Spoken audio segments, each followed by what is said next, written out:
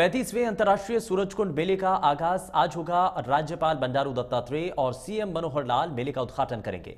शाम करीब साढ़े पाँच बजे सूरजकुंड मेले का उद्घाटन होगा और इस बार मेले का कंट्री पार्टनर उज्बेकिस्तान है। चार अप्रैल तक सूरजकुंड मेला चलेगा। देवेंद्र कौशिक हमारे संवाददाता, हमारे साथ सीधे जुड़ चुके हैं, जरा उनका रुख कर लेते हैं। देवेंद्र, क्या अभी तक सूरजकुंड मेले को लेकर के जानकारी मिल रही है? क्योंकि मेले का जो कंट्री पार्टनर है, उज्बेकिस्तान है, चार अप्रैल तक ये सूरजकुंड का मेला चलेगा। तैयारियाँ क्या है? आज से इसकी शुरुआत होने जा रही है।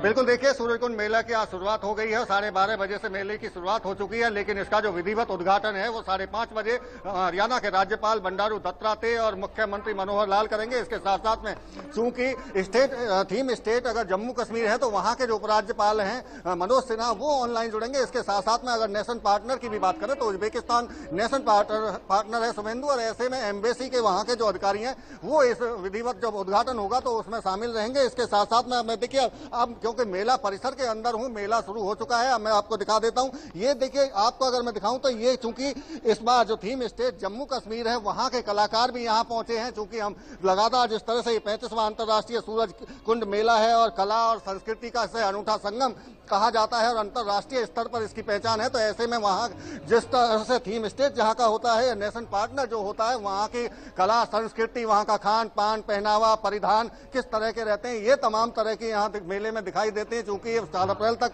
सोलह दिन लगातार मेला चलेगा। इनसे बात करने की कोशिश करेंगे आपसे बात करेंगे। क्या नाम है आपका? आप खड़े हो जाएँगे एक बार प्लीज़ आप आप कहाँ से हैं? जी हम कश्मीर से हैं। कश्मीर से आप हैं कलाकार हैं। क्या आज कर दिखाने वाले हैं? चूँकि मुख्यमंत्री जब यहाँ होंगे राज्यपाल यहाँ होंगे। जी आज हमारा ये कल्चरल ये परफॉर्मेंस है हमारे कश्मीर का जो कल्चरल फोक डांस है उसकी परफॉर्मेंस है। आज हम वो यहाँ पे दिखाएँगे। अच्छा फोक डांस आप करने जा रहे हैं और क्या क्या वहाँ के अगर बात करें फोक डांस के अलावा किस तरह की वहाँ की संस्कृति है जो आज यहाँ देखने को मिलेगी मेले में? आ, बहुत सारी है। फोक म्यूज़िक है फोक डांस है जो यहाँ पे आपको देखने को मिलेगी। तो हम उसी के रिहर्सल्स कर रहे थे तो आज वहाँ यहाँ पे हमारी वही परफॉर्मेंस है। अच्छा एक चीज़ और सवाल है क्योंकि अब गर्मियाँ शुरू हो चुकी हैं यहाँ। उत्तर भारत में गर्मी काफ़ी पड़ रही है। टेम्परेचर सैंतीस डिग्री से ऊपर पहुँच गया है। आप खासतौर से श्रीनगर से हैं तो वहाँ टेम्परेचर डाउन रहता है। मुश्किल तो हो रहा होगा कुछ इस तरह के परिधान जब पहनते तो गर्मी तो लग रही होगी। गर्मी तो बहुत लग रही है लेकिन अब हम मैनेज कर ले कर लेते हैं तो गर्मी तो बहुत लग रही है। बिल्कुल देखिए शुभेंदु कहीं ना कहीं हालाँकि गर्मी का असर ज़रूर है लेकिन मेले में हम्म। उत्साह की कमी नहीं है और मैं आपको अब लेकर चलता हूँ उस चौपाल की तरफ़, जहाँ चौपाल पर आज रंगारंग कार्यक्रम होने वाले हैं और लगातार ये सोलह दिन लगातार कार्यक्रम होंगे। दोपहर के वक्त में भी और शाम के वक्त में भी, चूँकि मेले का अब वक्त भी बदल दिया गया है। अब साढ़े बारह बजे ये दिन में शुरू होगा और रात के साढ़े नौ बजे तक, नौ बजे तक ये लगातार मेला चलेगा। और आप देखिए, ये जो स्टेज है, यही मुख्यमंत्री और राज्यपाल पहुँचेंगे इस स्टेज पर और स्टेज से ही यहाँ से विधिवत इसका शुरुआत इसकी होने वाली है। और शुरुआत से पहले तमाम तरह की यहाँ तैयारी की जा रही है। पुलिस की चौकसी यहाँ बढ़ा दी गई है। पुलिस की चौकसी के साथ साथ में जो सांस्कृतिक कार्यक्रम चौपाल पर होने हैं, उनके यहाँ रिहर्सल किया जा रहा है और तमाम जो गेस्ट हैं, वो अब यहाँ पहुँचना शुरू हो गए हैं। चूँकि मेला साढ़े बारह बजे से शुरू हो चुका था तो ऐसे में अब यहाँ तमाम तरह की जो तैयारी है, वो पूरी कर ली गई है। बाकायदा सबकी सिटिंग एडजस्टमेंट कर दी गई है। मुख्यमंत्री और राज्यपाल यहाँ पहुँचेंगे, उससे पहले ये तमाम देखिए, आप चौपाल पर हम पहुँच चुके हैं। इसी चौपाल पर कार्यक्रम होने हैं और ये जो नेशन पार्टनर की जिस तरह हम बात कर रहे हैं, उज्बेकिस्तान की या तीन स्टेट जम्मू कश्मीर की बात कर रहे हैं तो खासतौर से वहाँ के तमाम सांस्कृतिक कार्यक्रम यहाँ देखने को मिलेंगे और ये लगातार सोलह दिन तक लगातार चलेंगे। अलग अलग राज्यों की यहाँ संस्कृति की झलक देखने को मिलेगी, वहाँ की कला संस्कृति देखने को मिलेंगे, वहाँ के परिधान देखने को मिलेंगे और यहाँ तक की fashion designer Mysore fashion designer है ऋतु बैरी, वो भी एक दिन यहाँ फ़ैशन शो करने जा रही है और उसमें खासतौर से उज्बेकिस्तान और जम्मू कश्मीर के जो परिधान है, उनको लेकर ये यहाँ फ़ैशन तो होगा और इसी तरह से ये तैयारियाँ पूरी तरह से जब मुकम्मल कर ली गई आप देखिए तरह तरह के ये जो कलाकार हैं अपनी अपनी कला का यहाँ हुनर दिखाते हुए आप साफ़ तौर से देख सकते हैं कि अपने अपनी कला को यहाँ फ्रंट पर दिखाएँगे, प्रस्तुत करेंगे और एक रंगारंग कार्यक्रम यहाँ कुछ देर में शुरू होने जा रहा है। जी।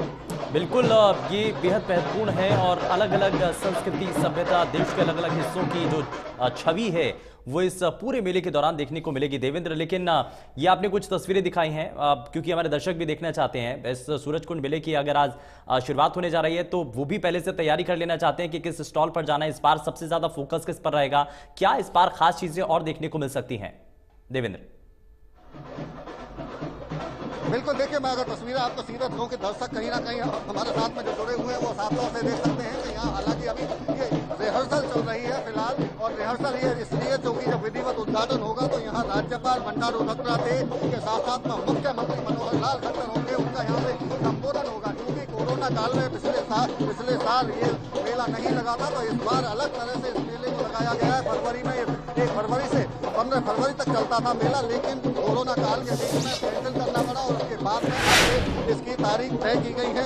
आज से इसकी शुरुआत होगी और शुरुआत होने के साथ साथ में अगर बात करें तो देखिए, तमाम तरह की व्यवस्थाएँ भी यहाँ की गई हैं। व्यवस्थाओं की भी बात करें, चाहे पुलिस की सुरक्षा की बात करें, बाकी तमाम अरेंजमेंट की बात करें, हमारे साथ में पी आर हैं सूबे सिंह। अगर सुरक्षा व्यवस्था की बात करें तो किस तरह की व्यवस्था रहने वाली है, मेले में कितने पुलिसकर्मी लगाए गए हैं क्या क्या इंतज़ाम किए गए हैं?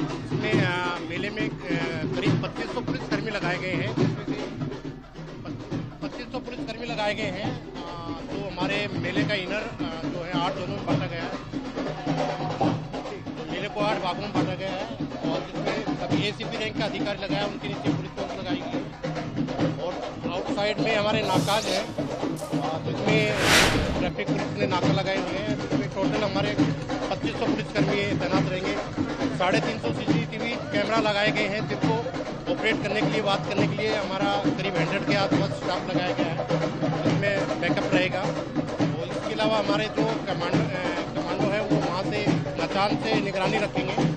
और दूसरा इसमें जो सिविल साथ में हमारे जो क्राइम ब्रांच और महिला पुलिस भी लगाई गई है, जो करीब ढाई सौ पुलिसकर्मी जो क्राइम ब्रांच के, वो सिविल में रहेंगे।